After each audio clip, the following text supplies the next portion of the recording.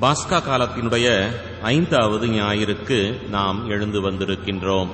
இந்த ஓய்வு நாள் உங்களுக்கு இனிய நல்ல நாளாக இருக்கட்டும் என்று அன்போடு உங்களை வாழ்த்தி மகிழ்கிறது. இந்த நாளிலே நாம் அறிந்து கொள்வதற்கு கொடுக்கப்பட்டிருக்கின்ற இறை வார்த்தை திருதூதர் பணியினுடைய ஒன்பதாம் அத்தியாயத்திலே சொல்லப்பட்டிருக்கின்ற இறை வார்த்தையை இப்பொழுது வாசிக்க கருத்தோடு கேட்போம். பவுல் ஆண்டவரை வழியில் கண்டது. பற்றி பர்ணாபா திருத்துதர்களுக்கு விளக்கி கூறினார். திருத்துதர் பணிகள் நூலில் இருந்து வாசகம் அதிகாரம் ஒன்பது இறை வார்த்தைகள் இருபத்தி ஆறு முதல் முப்பத்தி ஒன்று முடிய. அந்நாட்களில் சவுல் ஏஸ்லேம் நகரத்துக்கு வந்தபோது சீடர்களுடன் சேர்ந்து கொள்ள முயன்றார். ஆனால் அவரும் ஒரு சீடர் என்பதை நம்பாமல் அனைவரும் அவரை கண்டு அஞ்சினர். பர்ணபா அவருக்கு துணை நின்று அவரை திருத்தூதர்களிடம் அழைத்து சென்றார். பவுல் ஆண்டவரை வழியில் கண்டது பற்றியும் ஆண்டவர் அவரோடு பேசியது பற்றியும் அவர் தமஸ்குவில் இயேசுவின் பெயரால் துணிவுடன் உரையாடியது பற்றியும் பர்ணபா அவர்களுக்கு விளக்கி கூறினார். அதன்பின் சவுல் அவர்களோடு சேர்ந்து எருசலேமில் அங்கும் இங்குமாக சென்று ஆண்டவனின் பெயரால் துணிவுடன் பேசி வந்தார். கிரேக்க மொழி பேசும் யூதரிடம் சென்று அவர்களோடு வாதாடினார்.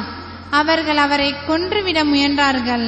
ஆனால் அவரோடு இருந்த சகோதரர்கள் இதை அறிந்து அவரை செசரியாவுக்கு கூட்டி சென்று அங்கிருந்து தர்சு நகருக்கு அனுப்பி வைத்தார்கள். யூதேயா கலிலேயா சமாரியா ஆகிய பகுதிகளிலெல்லாம் திருச்சபை வளர்ச்சியுற்று ஆண்டவருக்கு அஞ்சி நடந்து அமைதியில் நிலைத்து தூய ஆவியாரின் துணையால் பெருகி வந்தது. ஆண்டவரின் அருள்வாக்கு இறைவனுக்கு நன்றி. ஆண்ட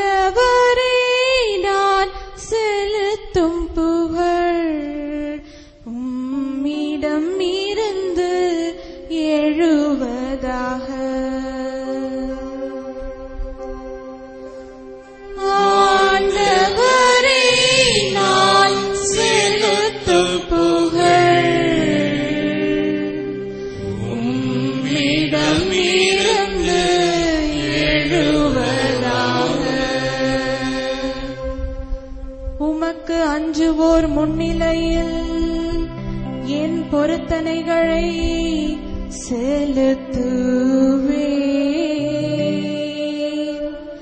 எளியோர் உணவு கொண்டு நிறைவு பெறுவர். ஆண்டவரை நாடுவோர் அவரை புகழ்வாராக. அவர்கள் இதயம் என்றென்றும் வாழ்வர்.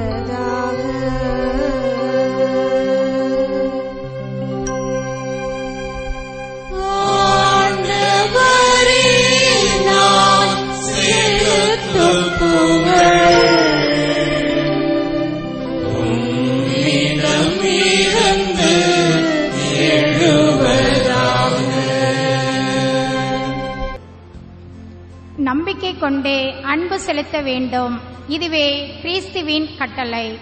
திருத்தூதர் யோவான் எழுதிய முதல் திருமுகத்திலிருந்து வாசகம் அதிகாரம் மூன்று இறை வார்த்தைகள் பதினெட்டிலிருந்து இருபத்தி நான்கு வரை.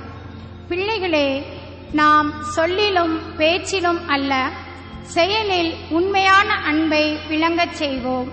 இதனால் நாம் உண்மையை சார்ந்தவர்கள் என அறிந்து கொள்வோம்.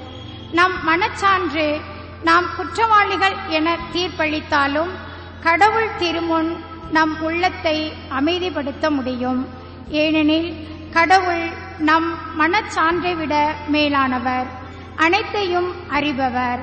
அன்பார்ந்தவர்களே நம் மனச்சான்று நாம் குற்றவாளிகள் என தீர்ப்பளிக்காதிருந்தால் நாம் கடவுள் திருமுன் உறுதியான நம்பிக்கை கொண்டிருக்க முடியும். அவரிடம் நாம் எதை கேட்டாலும் பெற்றுக்கொள்வோம்.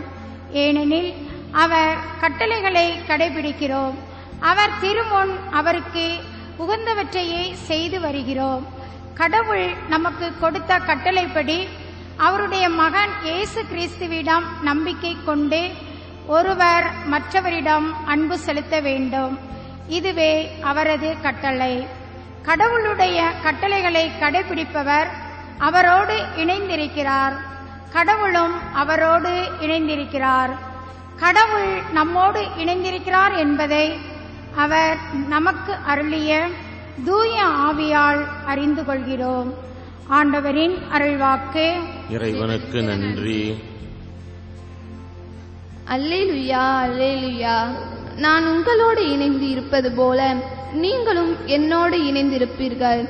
ஒருவர் என்னிடம் இணைந்திருந்தால் அவர் மிகுந்த கனி தருவார் என்கிறார் ஆண்டவர். அல்லேலுயா. அலையலுயா ஆண்டவரின் நற்செய்தியை தகுந்த விதத்தில் எடுத்துச் சொல்ல என் உள்ளத்தையும் உதட்டையும் தூய்மையாக்கும். ஆண்டவர் உங்களோடு இருப்பாராக. இருப்பாராக. புனித யோவான் எழுதிய பரிசுத்த நற்செய்தியிலிருந்து வாசகம். ஆண்டவரே மாட்சி உமக்கே. யோவானினுடைய நற்செய்தி பதினைந்தாவது பிரிவு. பிரிவு பதினைந்திலே முதல் எட்டு வார்த்தைகள். அக்காலத்தில் இயேசுதனுடைய சீடரை நோக்கி கூறியது உண்மையான திராட்சை கொடி நானே என் தந்தையே அதை நட்டு வளர்ப்பவர். என்னிடமுள்ள கனிகொடாத கிளைகள் அனைத்தையும் அவர் தரித்து விடுவார். கணிதரும் அனைத்து கிளைகளையும் மிகுந்த கணிதருமாறு கழித்து விடுவார். நான் சொன்ன வார்த்தைகளால் நீங்கள் ஏற்கனவே தூய்மையாய் இருக்கின்றீர்கள். நான் உங்களோடு இணைந்திருப்பது போல நீங்களும் என்னோடு இணைந்திருங்கள்.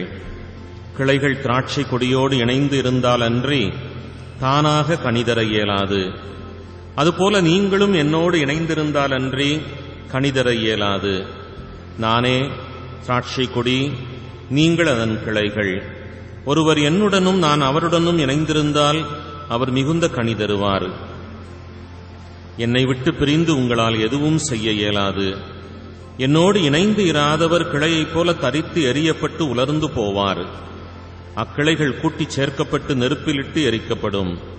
நீங்கள் என்னுள்ளும் என் வார்த்தைகள் உங்களுள்ளும் நிலைத்திருந்தால் நீங்கள் விரும்பி கேட்பதெல்லாம் நடக்கும். நீங்கள் மிகுந்த கணிதந்து என் சீடராய் இருப்பதே என் தந்தைக்கு மாட்சி அளிக்கின்றது. கிறிஸ்துவின் நற்செய்தி. பாஸ்கா காலத்தினுடைய ஐந்தாவது ஞாயிறு இந்த ஞாயிறு. இந்த ஞாயிறிலே திராட்சை செடி நானே என்கின்ற ஒரு நல்ல அற்புதமான கூற்றை ஆண்டவர் கூறுவதை நாம் பார்க்கின்றோம். நானே உணவு நானே வாயில் நானே ஆயன் நானே உணவு என்பது போன்று நானே திராட்சை செடி என்று மிக அற்புதமாக கூறுகின்ற வாக்கை இன்றைய நாளிலே நாம் படிக்க பார்க்கின்றோம். இணைந்திருப்பது மிக அற்புதமானது. இதை நாம் இந்த நாளிலே முதலாவது வாசகத்திலே திருதூதர் பணியினுடைய ஒன்பதாம் அத்தியாயத்திலே நாம் படிக்க பார்க்கின்றோம். திருச்சபை வளர்ச்சியுற்று பெருகி வந்தது. திருச்சபை வளர்ச்சியுற்று பெருகி வந்ததற்கு மூன்று காரணங்கள் அங்கு குறிக்கப்படுகின்றது. ஒன்று ஆண்டவருக்கு அஞ்சி நடந்து. இரண்டாவது அமைதியில் திழைத்து.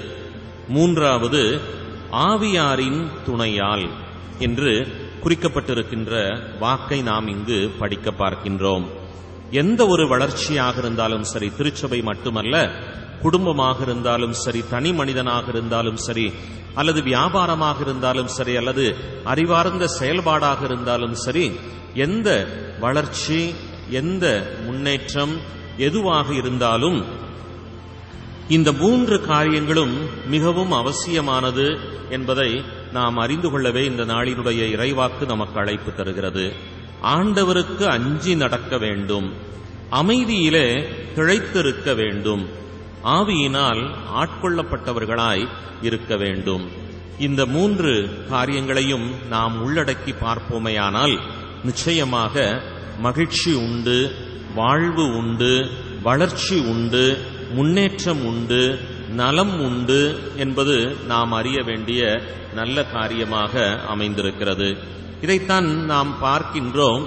செடியோடு கிளைகள் இணைந்திருக்க வேண்டும். அப்படி இணைந்திருக்க வேண்டும் என்று சொன்னால் ஒரு விதமான தெய்வ பயம் என்பது அடிப்படையான ஒன்று. ஏனென்றால் தரித்து விடப்பட்டோம் என்று சொன்னால் அல்லது பிரிந்து நிற்போமேயானால் நம்மால் வளர்ச்சியை காண முடியாது முன்னேற்றத்தை பெற்றுக்கொள்ள முடியாது அந்த செடியிடமிருந்து எந்த விதமான பலனையும் நாம் அடைய முடியாது. எனவே ஒன்றுக்கும் உதவாமல் நாம் புறந்தள்ளப்படுவோம் என்பதுதான் உண்மை. எனவே செடியோடு இணைந்திருப்பது என்பது அமைதியிலே கிழைத்திருந்து ஆண்டவருக்கு அஞ்சி நடந்து ஆவியினுடைய அபிஷேகத்தை பெற்றவர்களாக நாம் வாழ வேண்டும் என்கின்ற இந்த ஒரு நல்ல அற்புதமான சிந்தனையைத்தான் இந்த நாளினுடைய இறைவாக்கு நமக்கு சொல்லித் தருகிறது. கேட்போம் இந்த இறைவார்த்தையின்படி நம்முடைய வாழ்வை நாம் அமைத்துக் கொள்வோம். அப்பொழுது வாழ்வினுடைய எல்லா வளர்ச்சியான முன்னேற்றமான காரியங்களையும் நாம் நாம் வாழும் காலத்திலேயே காண முடியும். இத்தகைய ஒரு நல்ல உணர்வை இந்த நாள் நமக்கு பெற்றுத் தரட்டும். இணைந்திருங்கள் கேட்டு மகிழ்ந்து இறைவனை துதியுங்கள். ஆமென்.